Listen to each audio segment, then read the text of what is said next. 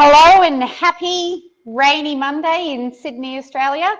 Um, this month for March, I've got four really powerful tips and tricks for getting more from your pelvic floor. So, you know, most of us who have had children or have had a gynae or pelvic um, surgery or issue have learned the Kegel, which is the lift and the drop of the pelvic floor.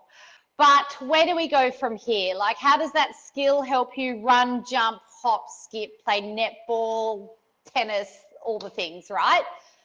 What I'm going to give you today is just one tip or one trick you can try on your power plate or off it to enhance the lift, to make it more powerful.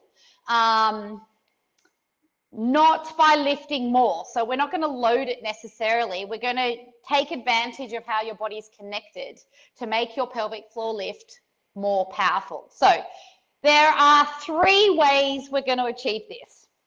And today's tip is all grounding techniques. So ways of using the floor to enhance the lift.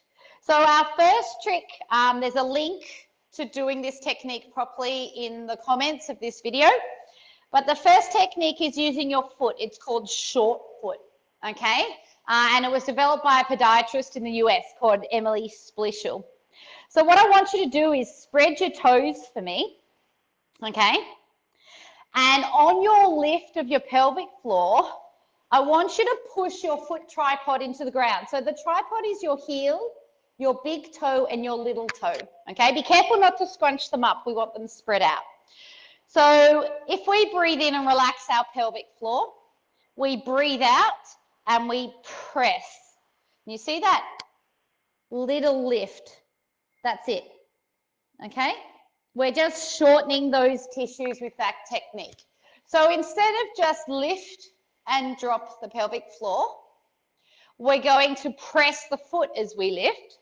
So breathe in, press the foot, Breathe out, relax. Breathe in, press the foot. And you can do it with both feet. Press the foot, relax the pelvic floor, press the foot. Now, some of you will not feel an enhanced pelvic floor lift using that technique. That's okay. Try one of these other ones. So using your hands. Using your hands is really common in yoga and other practices where you're down like this. But basically, it's very similar to the short foot technique. We're going to spread the hands and we're going to press each fingertip into the ground. So obviously, if you're on the power plate, we want the hands on the power plate. So breathing in, relax. Breathing out, press the fingertips and lift the pelvic floor. Breathe in, relax. No movement, right? Breathe out, press the fingertips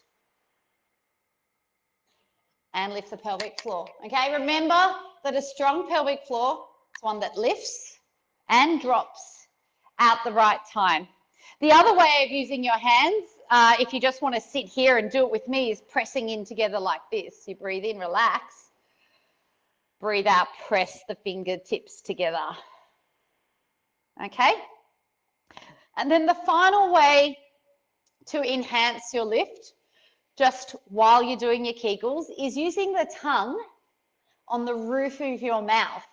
So what you want to do is on the lift, you want to press your tongue up against the roof of the mouth. And on your relax, you just let your tongue relax as well. Okay?